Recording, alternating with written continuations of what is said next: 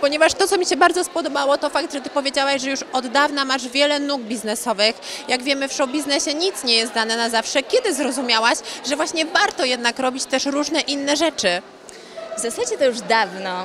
Wiesz, ja też trochę tak mam, że ja mm, mam różne pasje, różne, myślę, predyspozycje i umiejętności i też e, szkolę się w różnych dziedzinach, więc ja sobie potem tym żongluję. I fajnie jest podążać za jakimiś takimi swoimi zainteresowaniami, żeby mieć tych piłeczek kilka i żeby można było nimi żonglować, a nie tak, że wiesz, jedną masz piłkę w ręku i to, to zaczyna być ciężkie w pewnym momencie, bo kiedy chcesz coś zmienić, to jest ci bardzo trudno.